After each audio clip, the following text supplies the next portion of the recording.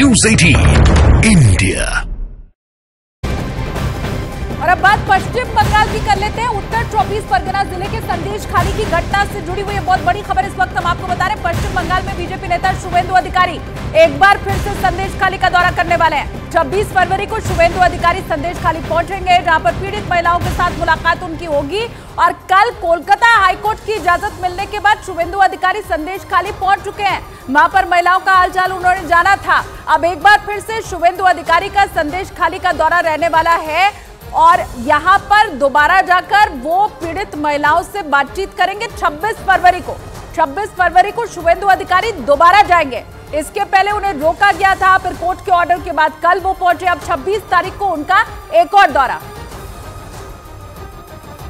इस पूरे मसले से जुड़ी तीन तस्वीरें हम आपको दिखाते हैं। पश्चिम बंगाल के उत्तर 24 परगना ज़िले के संदेश खाली में यौन उत्पीड़न और दुर्व्यवहार के आरोपों पर सियासत खुलकर हो रही है।